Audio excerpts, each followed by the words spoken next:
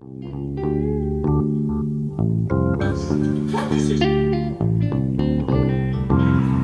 we talking about?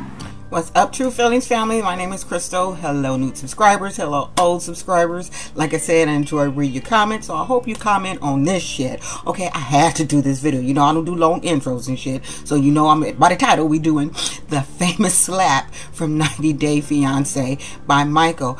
I was watching that shit at six o'clock in the morning and spit my coffee out. I didn't see that shit coming at all. I did not expect that slap. And Tubu said the wrong thing to Michael at the wrong time. Michael had just found out he didn't get his damn visa. And he wasn't going to be with his precious Angela. So he was already pissed off in, in his feelings and in his emotions. And at that point, I'm sitting there drinking my coffee. And this fool, Antubu, had the nerve to call Angela trashy. And Tubu said the wrong effing thing at the wrong time. He said the wrong shit. He called Angela trashy. Michael, why'd you call her trashy? Why'd you call her trashy?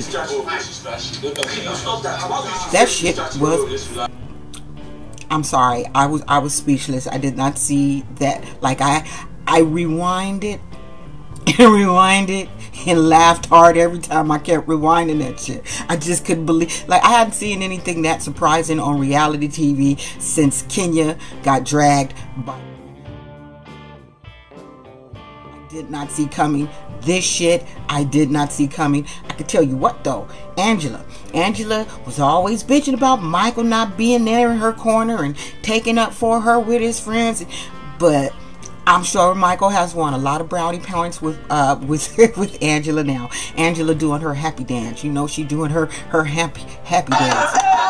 I wonder what Grandma thought. Mama, is that Grandma? Grandmama? I mm mm mm mm. It was delicious to see, and I loved it. That was reality TV to me at its complete best. Not only did he fucking hit him with his glasses, like he did that shit with such precision. Like he didn't even hit his eyeball. It was just like I gotta show you this in slow motion. He didn't even like it was.